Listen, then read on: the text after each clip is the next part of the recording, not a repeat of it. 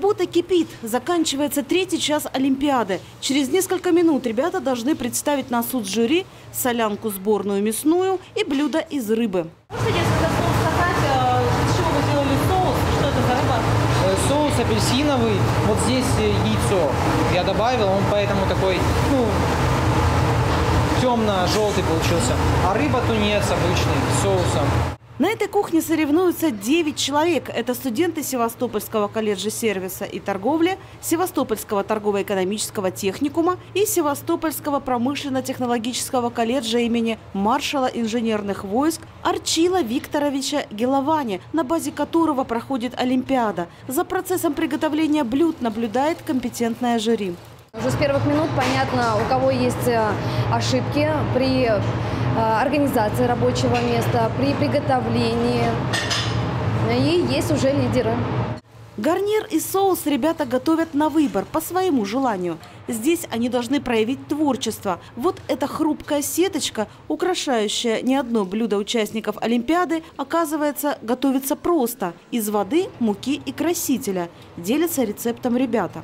Но жюри оценивает не только вкусовые качества блюда и его оформления, но и соблюдение правил техники безопасности, организацию рабочего места конкурсантов. Ребята очень стараются, ведь среди членов жюри могут быть потенциальные работодатели.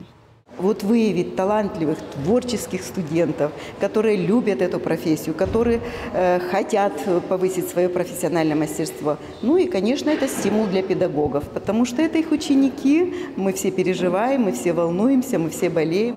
По словам педагогов, 90% студентов кулинарных техникумов после окончания учебы остаются в профессии.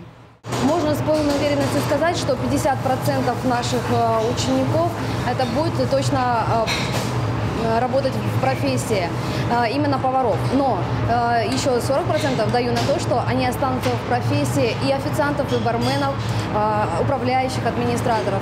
Студенты говорят, что в будущем мечтают о работе в лучших ресторанах Севастополя. Я бы хотела бы работать в Сосновом Бару.